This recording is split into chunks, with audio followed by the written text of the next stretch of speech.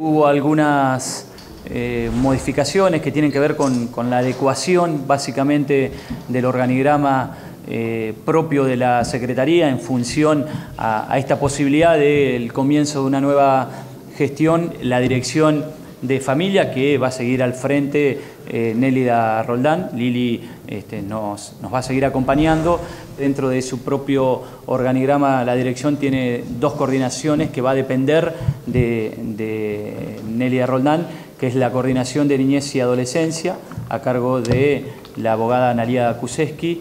y la dirección de planificación de programas eh, sociales que también este, está una abogada que es Alejandra Castro. Después está la dirección de deportes, recreación, juventud y actividades físicas que va a estar a cargo el profesor eh, Guillermo Memo Larrea y los coordinadores son el actual coordinador de deporte, el profesor eh, Martín Villegas y la coordinación de actividades y programas juveniles, la licenciada en psicología Anabela Páez. La coordinación de los servicios sociales de base, que continúa eh, Mabel Barrientos,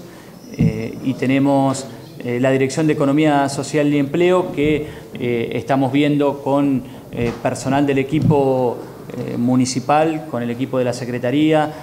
combinado con la Secretaría de Hacienda y Desarrollo Económico, cómo vamos eh, también armando ese sector que todavía no está definido. Y la dirección de eh, eh, articulación y enlace institucional, que es quien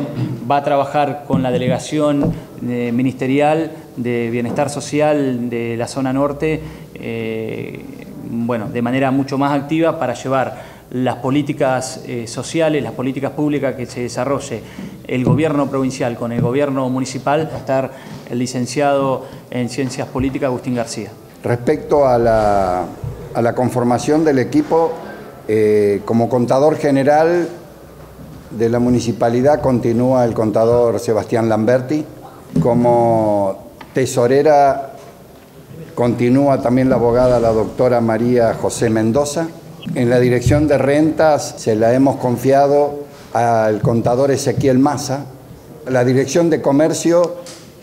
pasará a estar a cargo del licenciado Diego Martín Serralta, ante la renuncia de Alejandro Pellitero, que se retiró, se acogió los beneficios jubilatorios, y la dirección de, producción